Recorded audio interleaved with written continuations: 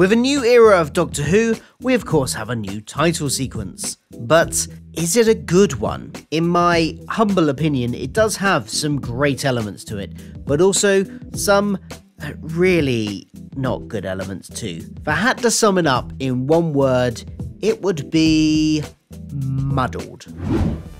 The title sequence, like many before it in the modern era, makes its focus the TARDIS shooting along down the time vortex. Or is that a nebula? It's hard to tell in this one. But whatever it is, it's beautiful.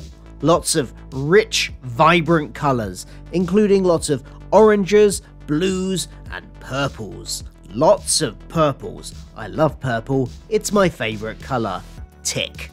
The smoke effect texture of whatever it is it's travelling through looks good too. Uh, it's a little bit reminiscent of the texture of the vortex in the Matt Smith titles. Now, while I've seen some people take issue with the various cuts to different viewpoints and camera angles of the TARDIS rather than it being one continuous shot, I actually quite like that especially the close up shot of the base of the TARDIS skimming along the edges of the vortex, or nebula. This, in my opinion, is the best a TARDIS has looked in a title sequence ever. So, so far, so good. And here I need to mention the theme itself, because it's going to play into my next point. When I heard the theme played in the recording of the BBC Doctor Who at 60 concert, I thought it was, well, a little bit of a mess. I liked the idea of incorporating elements from the themes across the history of the program. There was a, a, little bit of RTD1 in there, a little bit of Moffat, a little bit of Classic Who as well, all mixed in to the sound of this theme. But it didn't seem to blend that well. However, that was a live orchestra where the balance of instruments can't be fine tuned, and as I said at the time, I hoped the final studio mixdown of the broadcast theme tune would even out some of the harshness of it. And it does. It's. It's fine. One thing I've seen criticism of is that the theme doesn't match the visuals well enough, and I think I know why people think that. In every iteration of the opening titles in the modern era, the name of the actor playing the Doctor has appeared in time to coincide with that first ooey You know, ooey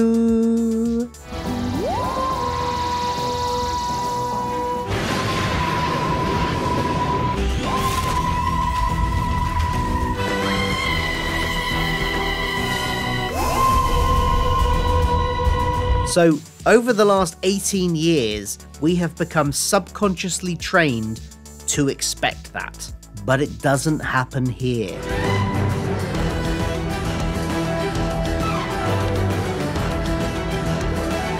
Both David Tennant's and Catherine Tate's name appeared during the initial build up stage, the dum diddy dum dum diddy dum bit. There's just no musical punch to their names appearing, they just sort of do, and that feels off. That's not to say the musical hit of the ooey is wasted, as that bit of the theme hits the moment we get a shot of the TARDIS bursting out of a nebula like space cloud. And I think that actually works really well. It punctuates that moment perfectly, it's just a shame that we've lost the punctuation on the appearance of the actors' names. I also don't mind the quick zoom onto the TARDIS from the long shot either. I know some people have had an issue with that, but I kind of feel like it gives the feel of being in that space, like like you're an observer on another ship and have just asked your view screen guy to zoom in on that weird blue box that just burst out of that nebula. Spaceships have a view screen guy, right? They push the buttons to make the view screen do stuff. That's got to be a thing, right? Anyway, back to the titles, because then we get what I think most people view as the biggest crime these titles make, and I completely agree with them the way the logo comes in.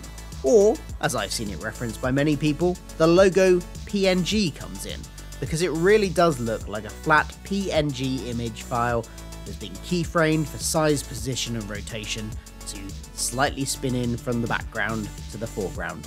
No interesting actual animation on it at all. It leaves with some good animation, no problem with the way it leaves the screen, but the way it enters, I do not like.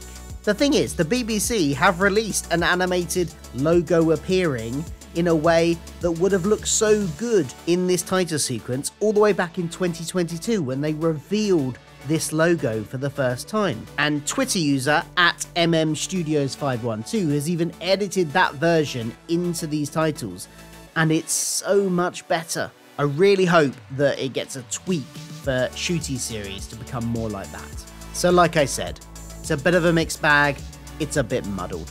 What do you think of the new title sequence? What do you like? What doesn't work for you? Let me know in the comments below. And if you like this video, please give it a like, share it, subscribe for more like it, and all that jazz. Thank you for watching. Goodbye.